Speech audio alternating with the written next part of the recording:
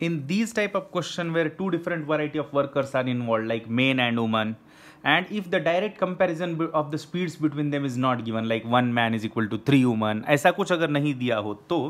आप सिंपली क्या कीजिए let's assume that daily one man does m unit work one woman does w unit of work we know that five men and two women can finish the job in eight days तो five man daily five M work करेंगे two man daily two W work करेगी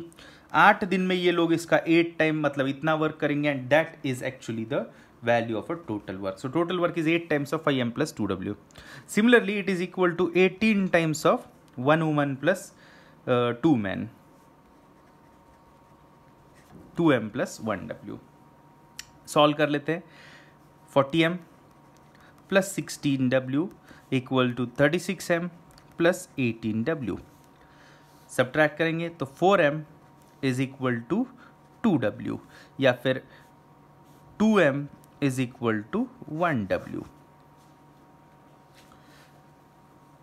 now they are asking how in how many days can nine men finish the same work अब total work क्या है? तो total work कितना है?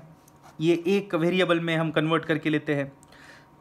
तो यह आएगा eight times of five M plus two W and W is two M तो two W will be four M total work is five and four nine into eight seventy two M seventy two M units का total work है। अब पूछ रहा है question in how many days can nine men finish the same work